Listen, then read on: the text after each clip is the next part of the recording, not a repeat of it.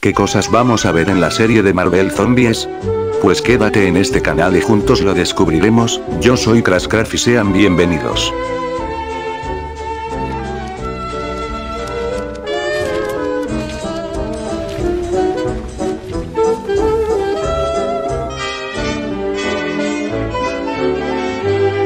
Revelado durante el panel de animación de Marvel en la Comic Con de San Diego, el equipo quería ver lo que pasa después de ese final en el episodio, de qué hubiera pasado si los zombies. Marvel Zombies en Disney Plus no solo contará con versiones no muertas del Capitán América, Bruja Escarlata, Ojo de Halcón, Ghost, Abominación, Capitana Marvel y Okoye, sino que también tendrá todo el gore y las salpicaduras que requiere de una serie de zombies.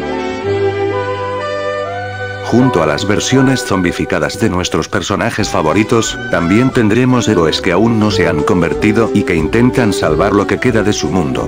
Estos héroes incluyen a Yelena, Kate Bishop, Guardián Rojo, Jimmy Woo, Deadiller, Shang-Chi, Kamala Khan Miss Marvel.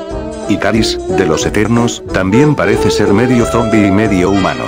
Siendo un eterno, puede que no sea capaz de convertirse en un zombie completo, pero definitivamente hay algo raro en él. También parece haber un equipo de viudas negras y una banda de moteros Skrulls que parecen vivir en este apocalipsis zombie con atuendos a juego.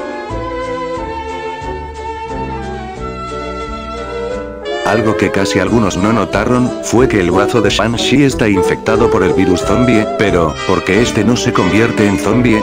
Fácilmente porque de ese lado del brazo tiene los anillos del mandarín y estos evitan que este se convierta en un zombie.